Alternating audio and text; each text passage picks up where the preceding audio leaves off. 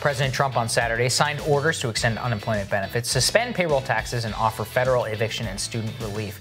But New York Times economic reporter Jim Tankersley writes that Trump's stimulus won't do much to recover the economy or put money into the hands of Americans hardest hit by the recession. He will also tell us about his new book, The Riches of This Land, the untold true story of America's middle class. And Jim Tankersley joins us now. Great to have you. Good to see you, Jim. Thanks. Um, let's start with the, these executive orders, and we definitely want to talk to you about your book as well. Um, but let's start with the executive orders. Just help people understand what they actually are, what they do, and what they do not do.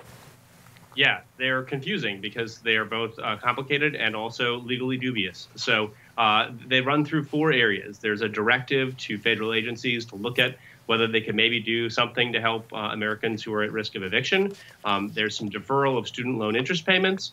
And then the two big ones um, there's essentially the creation of a new uh, unemployment supplement using some disaster money uh, that, that is less than the supplement had been that expired in July. Um, and then finally, uh, there's a, a, suspension of the collection of the payroll tax, which the president wants to message as a payroll tax cut, but is probably just um, a, a, bunch of paperwork that employers are going to have to do and, and will not lead to actual reductions in payroll taxes for people. Yeah, it's a, it's very. We both read your piece and found it very useful in terms of what the actual impact would be here. And so, I guess to bring it to your book, Jim, kind of like we're living through the worst economic crisis since the Great Depression. Your book is about the untold story, kind of of the middle class. What is that story, and then relate it to their story right now? I mean, to the destruction that we see, and to what actually needs to be done in order to make sure those people are saved. Yeah. Well, thanks so much. I, I mean, the the story of the American middle class, uh, we all know, is, is a wonderful one. That after World War II, there was a surge uh, in the American economy of, of, of uh, economic growth and income growth that pulled millions of people into what we think of as the middle class. They could afford a home and a car and retirement security and to send their kids to school. Um, but over the last 40 years, that, that story has reversed, and we've seen stagnation and even decline for middle class Americans, millions of people falling out of the middle class, which has obviously been made much worse in this pandemic recession.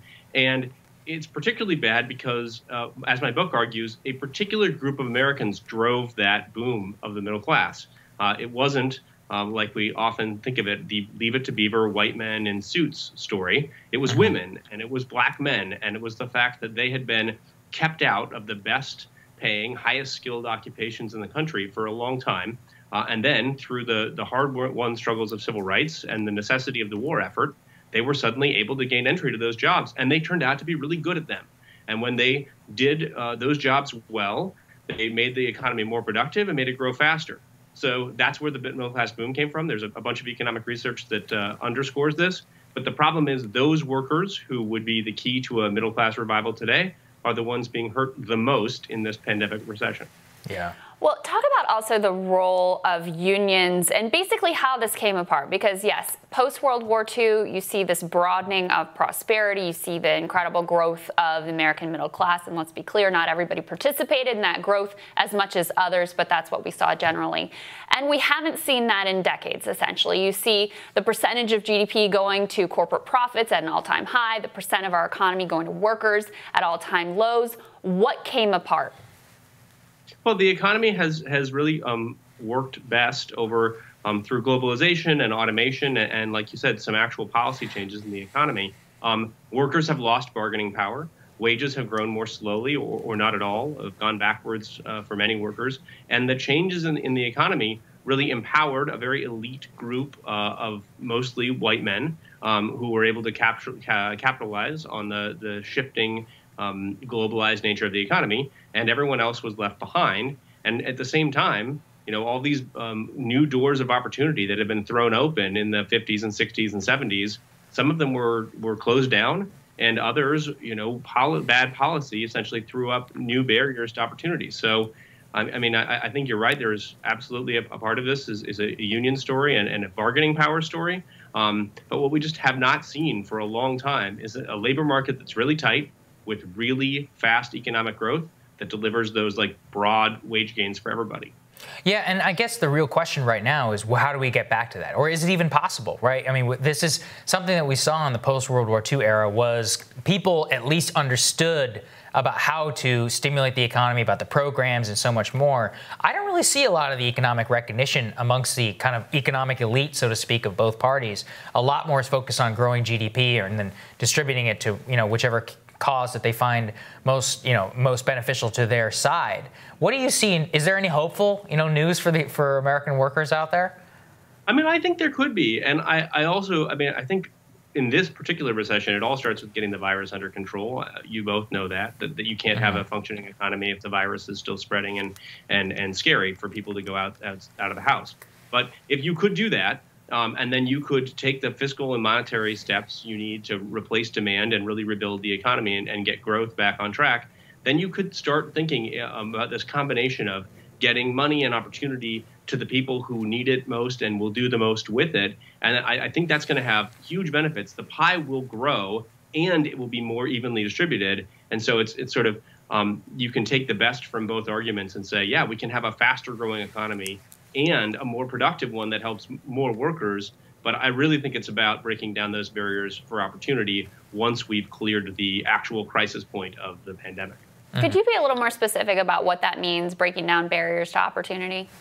Absolutely. Um, I can. There's a bunch of things. First off, I think we just need to have more aggressive action, uh, all of us in our own lives, to make sure that we are doing everything we can to help people uh, who have been denied opportunity in this country to get ahead. Um, that's like a, a, starts at home sort of a, a, thing. But then, you know, companies like mine, the New York Times, need to do more to promote and hire, uh, you know, talented people from disadvantaged backgrounds or, you know, men of color, women of, of all races.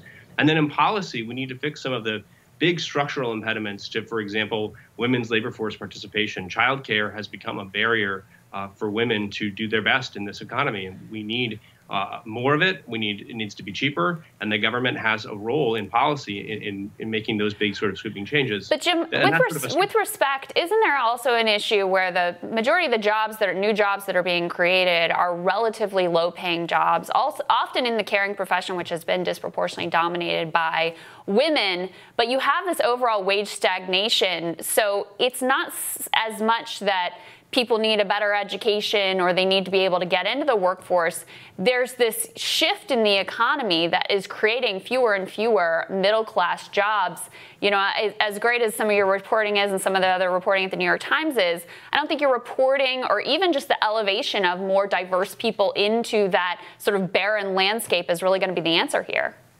Well, respectfully, I, I, um, I, have a hopeful answer to that. Um, first off, I do think we need to do more to make the jobs you are discussing um, better paying jobs. I mean, it's just, just very clear. I've been writing stories my whole career about the workers in, those low paid jobs and, and how the dignity of what they do is not rewarded yeah. uh, fairly uh, by the marketplace right now. But also, I really believe, like, for example, if we uh, had a better distribution of who gets venture capital in this country and more women were able to start companies, if you look at the problems women seek to solve and the kinds of jobs they create with the companies they start now, they are better paying jobs. They are trying to solve real human problems like healthcare and, and carbon mitigation.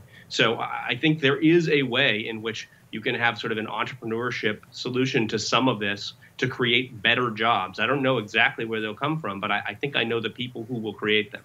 Hmm. Well, very interesting, Jim. Appreciate you joining us. Thank you, Jim. Congrats on the book. Thank you so much. It was really fun. Thank you. Absolutely.